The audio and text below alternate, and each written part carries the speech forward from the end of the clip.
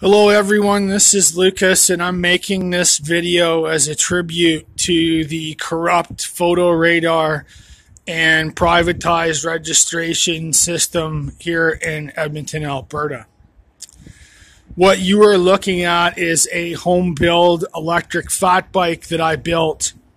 I built this bike because I am in dire need of transportation the first time I was ever pulled over in a vehicle, I was pulled over in my truck camper and I lost it because I had switched plates from a vehicle that had just died onto my truck camper um, because I needed it for work, to come for my company, and to survive. And uh, the police impounded it, and I lost everything. Enter Fat Bike. What you're looking at is a uh, standard fat bike kit that you get from Uncle Wiener's here in Edmonton, fixed with a custom build electric engine kit that I bought from Amazon. This is the cheapest electric kit you can buy from Amazon. It is a 250 watt motor. The kit cost me $100. All in all, this entire build should cost you under $600, but I will warn you that this is a master bicycle mechanic build.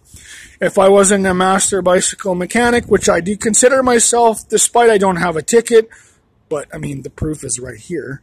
Um, yeah, so that's that. So the first thing that you're going to want to do with your fat bike is you're going to have to find yourself an extra freewheel. Now, I tried to get one at Revolution Cycle here in Edmonton, but the kind of stuff that they sell for free freewheels is just kind of junk and will not work properly um, with the fat bike configuration and the dual freewheel adapter. As you can see, I have no spacer in there. I didn't need one. This uh, freewheel that I uh, installed primary before I installed the diamond freewheel that came with the kit is um, just off of an old BMX um, that it pounded off with a punch, but it seemed to work fine. Then I installed the freewheel adapter and then the diamond freewheel. Um, the motor itself was a little bit of a problem because the standard mounting plate that comes with the Amazon kit does not fit the fat bike. So what I had to do is I had to take the bent bracket, which was right here. I heated up the bent part as hot as I could with the tiger torch and pounded the whole thing flat on the uh, anvil side of my vise, and that was for the both the top and the bottom part. The standard clamps don't work, uh, so what I ended up doing was getting these U clamps. I got these U clamps from Lowe's. And these U clamps come with these straight bars. I actually used two of the straight bars, so it takes two clamps to make one. Two straight bars, a washer, a nut, three washers, a washer, lock washer, and then lock nut. And on the back here is I have, I believe it is five washers and then the same configuration for the lock nut. And the reason being is, is that this isn't quite straight. If you look here, see how it's a little bit pitched? But you have to do that in order to get your chain straight. Your chain must be straight or this thing will just jump off sprockets and give you all kinds of trouble. For the lug nuts at the back, um, I don't have, as you can see, I don't have the bracket directly on the main lug nut that holds everything together here. This is actually a lug nut off of a 10 speed, and this is a, a 17 millimeter head as opposed to a 15. So I got the 10 speed lug nut. I have the bracket, and then I have a 15 lug nut here of the standard that came with it. Now, when you put all this stuff together and you get the new freewheel on there, you're going to find that your chain is either way too loose or way too tight. Now, you can't have a loose chain because it will fall off. And I'm not talking about the motor chain, I'm talking about your actual crank chain. And it'll be too loose or too tight. And this is just because the fat bikes aren't designed for a standard freewheel. And I racked my brains about how to get around this. And what I ended up doing is I ended up using a round file and I actually filed down the crank, each tooth in between each tooth individually until I could get that chain at a nice tension. So it goes around nice and easy. Otherwise, it's too loose or too tight. The motor chain itself isn't a problem because of the brackets and everything else. You can actually have lots of play and move it around, and I haven't had any problems with this configuration at all. So that's how I did it. Okay? If you don't have access to a Tiger Torch and some way to pound this bracket flat, you're never going to get to any of the other steps. So this is the most important thing that you need to do. Everything else you can kind of work around. The battery compartment I have at the back here is a standard Oxford banker box that I um, spray painted flat black. Um, this actually, no, this is a midnight black. These uh, fat bikes come uh, pre spray painted midnight black. Um, I had to drill a whole bunch of holes in them for everything from the tail light. This tail light I got at Princess Auto is a standard 12 volt uh, tail light, but I'm actually running it off 24, and it seems to be working just fine. I, I was going to wire it to 12, but I figured ah, I'm going to see if I can wire it to 24 and see if it'll work, and it works. And they're cheap, so if I blow it, I'm not really concerned about it. Um, I had to get these metal stays here, um, and I had to make them. Um, how I got the metal stays to fit for the battery boxes on either side of the bike is kind of weird, but I'm going to show you how I did that. Um, I have two at the front here, as you can see, where I've actually tapped right into the frame. And I've also got it, uh, a third one in the back here, tapped right off here, and you can see it all bolted underneath there. On this side, on the motor side, you're able to put the bolt in the uh, proper way, but you still want it to sit out a little bit um, because of what I did on the other side. And you can see I got three nuts in there as the spacers. And on this side, I actually had to feed, if you can see that, it's kind of hard to see inside there.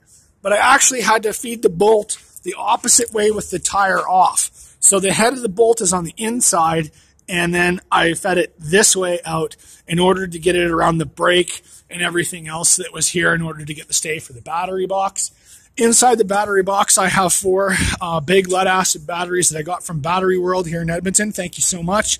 Um, they're 12 volts, which I have wired into series and, in order to both charge and give me the 24 volts that I need to power the electric motor. This is just a standard lock box. Um, it's just standard lockbox, cash box. You don't have to use this kind of lockbox. You can use whatever you want, but I do recommend that you use a lockbox for your wiring. Um, and as you can see, the wiring in here is a bit of a nightmare. Everything in here with the kit is pretty straightforward. Um, your motor controller is right here, and they've made it so that it's not too too complicated for the motor controller. I mean, everything plugs into basically what it's supposed to plug into, but I had no, um, I had no wiring diagram for this, so I just kind of had to plug things into the motor controller with power in order to get. It was like you know trial and error, hit and miss until I got what was supposed to be where. Because you do have sensors on your brake levers you have your throttle, you have your uh, ignition, you have um, a light pack, um, you have all kinds of stuff that needs to be plugged in. One thing I did notice with this kit though is it did not give you an on-off switch for the light pack. So even though that I turned my ignition on and off, oh sorry, right here, I turned my ignition on and off, the lights stay on if I plug them in.